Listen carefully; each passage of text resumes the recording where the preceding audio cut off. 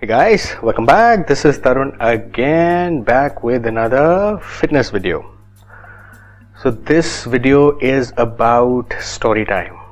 When I say story time, you know, I you know I got hold of this old video of mine you know which was about i think a couple of years ago about seven six seven years ago you know one of this another friend of mine he shot it from his camera so this video of mine uh, is has about me posing and flexing you know my body shots after my heavy uh, uh, steroid cycle now I wanted to see the progress and, and you know how this is shaping up. So I asked him to make a video of it so that you know I can probably go back and you know once I grow older I can look back at it and say hey what this is exactly what happened when I took it.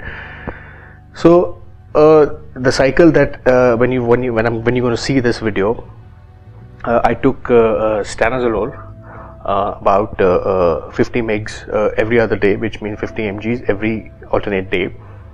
And uh, test prop you know test, test uh, testosterone propionate 100 mgs every alternate day. So uh, eods were every other day. And i ran it for about uh, two months close to about eight weeks. And uh, obviously my diet was very very strict.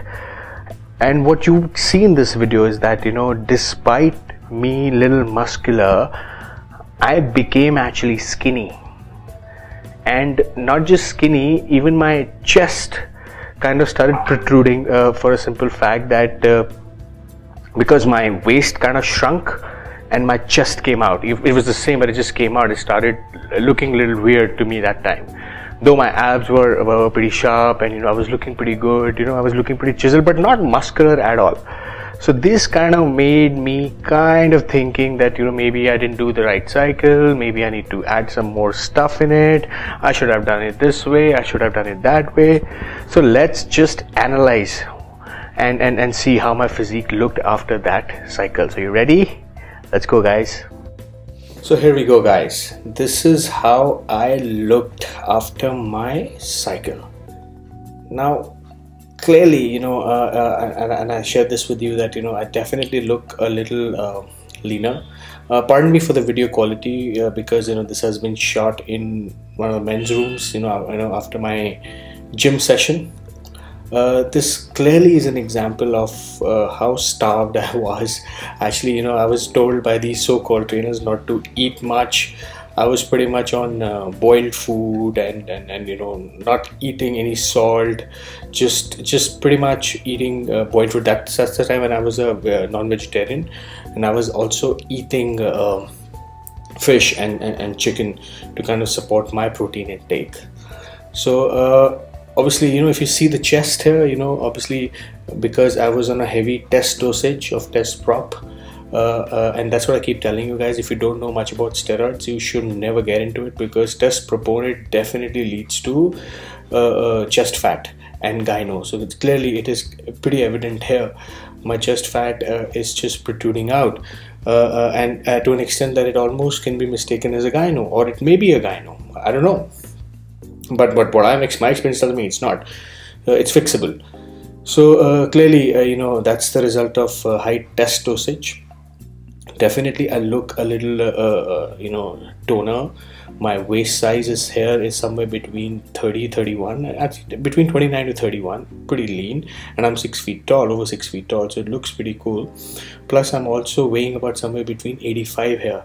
So uh, it's kind of uh, a body that you know uh, which you don't want. It's fairly ripped but at the same time uh, it's not the kind of body that you should aim for. So that is something that i wanted to share with you that uh, uh, this is exactly what steroids do if they were to go wrong which is uh, the chest fat you know though you do get abs that's why i keep telling you guys you know don't get obsessed with abs because abs not going to get you anywhere see these abs but you got to focus on the overall body and that is exactly what uh, i missed out on that you know i just started doing abs abs abs the next thing you know that you know um, uh, just completely got missed out. Plus, I was doing extensive amount of cardio too, so that's the reason I don't have too many muscles on me. I just have abs. That's why I keep telling you guys, you really don't have to go crazy on abs.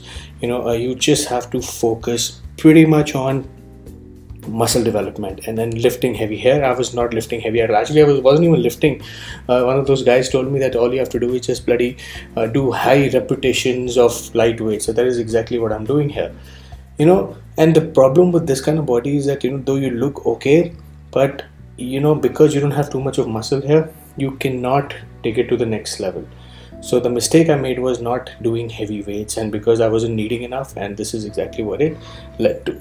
So this is exactly uh, uh, uh what my first not first cycle after but test and stana cycle looked like.